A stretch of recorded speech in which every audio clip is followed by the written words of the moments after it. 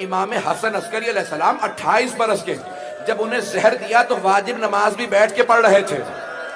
किसी ने पूछा, मौला क्या बात है, का ऐसा जहर दिया मेरा पूरा जिगर घुल गया मेरे आजा अंदर से घुल रहे मुझसे खड़ा नहीं हुआ जा रहा। जो आदमी जा रहा था, मौला मैं जा रहा हूँ मौला ने कहा, जब तू कल आएगा ना तो यहाँ ताबूत होगा, जनाजा होगा तो मुझे नहीं देखेगा। वो तड़पने लगा, का मौला आप तो 28 बरस के जवान हैं। मौला ने कहा, मेरी जवानी को ना देख, उस जहर की शिद्दत को देख जो मुझे दिया गया।